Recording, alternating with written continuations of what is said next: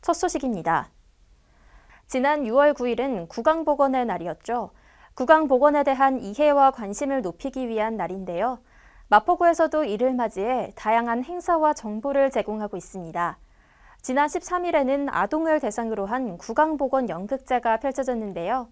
마포TV에서 생중계했습니다. 이 현장을 전해드립니다.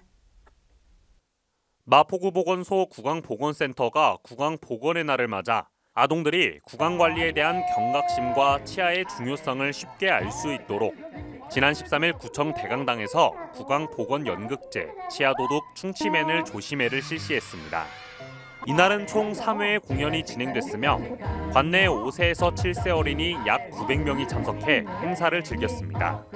무대는 인형극으로 채워졌으며 어린이들은 치아 건강에 대한 유익한 정보를 얻는 동시에 웃음 넘치며 뜨거운 반응을 보였습니다. 이는 마포TV 유튜브 생중계도 진행돼 참여하지 못한 아이들과 많은 주민들은 행사에 함께할 수 있었습니다. 이번 구강보건 연극제는 많은 아이들이 구강보건에 대한 이해와 관심을 얻을 수 있는 기회가 됐습니다. 안녕하십니까 황지연입니다. 더 많은 뉴스와 마포구 이야기를 보고 싶으시면 화면 오른쪽을 눌러서 구독해 보시기 바랍니다. 또 좋아요와 알람 설정을 하시면 다양한 소식도 받아보실 수 있습니다. 항상 저희 마포투데이를 시청해 주셔서 대단히 고맙습니다.